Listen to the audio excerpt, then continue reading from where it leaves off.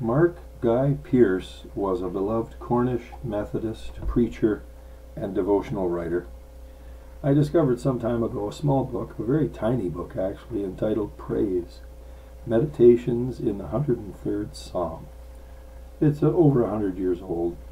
It deals with one of my most favorite psalms, and I'm referring to the chapter that directs itself toward verse four. Who crowneth thee with loving kindness and tender mercies?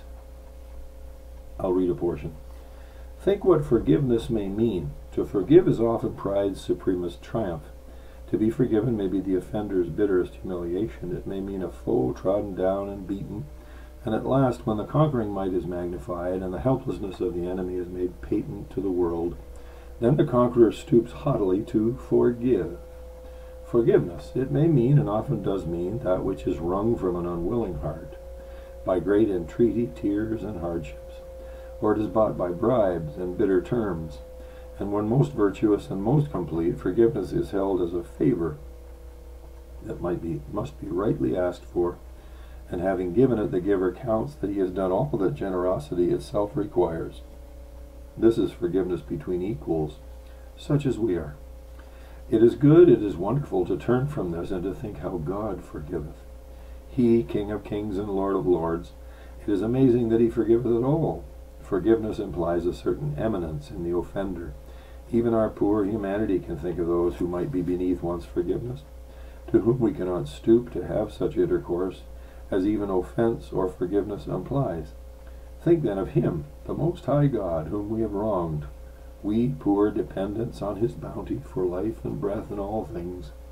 He forgiveth, and forgiveth by Himself stooping to all humiliation and tears and agony. He cometh Himself to provide forgiveness and meets us with it, and himself entreats our acceptance of it at his hands. Amongst us, let us hope there is no wrong which by God's grace we could not forgive, but it is easy to think of wrongs of which forgiveness should be conditional. Yes, I forgive, I forgive, but only if you keep out of my sight. Never let me see you again, or the sight will bring back all the bitter memory of my wrong, and kindle again the fire of my indignation and hatred. O my soul, Think again of what thy sin means to God. Think of all that it has cost him, what bitterness of anguish, the cross and all the accursed death of Calvary. He forgiveth, yes, but what then? That I must go forth from the presence of the Lord, burdening him no more with memories of his shame and sorrow?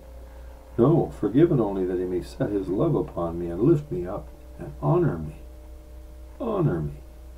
That he may crown me with loving kindness and tender mercies Beautiful and true are those words. A man's forgiveness may be true and sweet, but yet he stoops to give it. More complete is love that lays forgiveness at thy feet and pleads with thee to raise it. Only heaven means crowned, not vanquished, when it says forgiven. The very completeness and perfection of God's forgiveness this, He crowneth thee with loving kindness.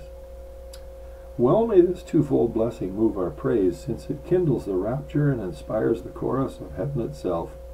In that dazzling vision, most splendid perhaps of all that human eyes ever looked upon, St. John sees him who sitteth upon the throne, the Lamb as it had been slain, and before him fall the circling ranks of those that are round about the king, having every one of them harps and golden vials full of odors, and they sing a song that is for ever new.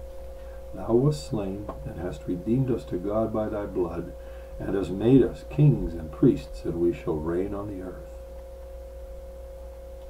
And so beginning the song goes forth with dwelling fullness, ever growing until it wakens all the voices of all worlds, and then sweeps back again a universal rapture of adoration. Every creature which is in heaven and on the earth and under the earth, and such as are in the sea, and all that are in them, heard I saying, Blessing and honor and glory and power be unto him that sitteth upon the throne, and unto the Lamb for ever and ever. My soul, exercise thyself in these strains of celestial music, and with heart tuned by the finger of God, be always praising him. That which inspires heaven's music may well fill us with grateful adoration. Bless the Lord, O my soul. who forgiveth all thine iniquities, who redeemeth thy life from destruction, who crowneth thee with loving kindness and tender mercies.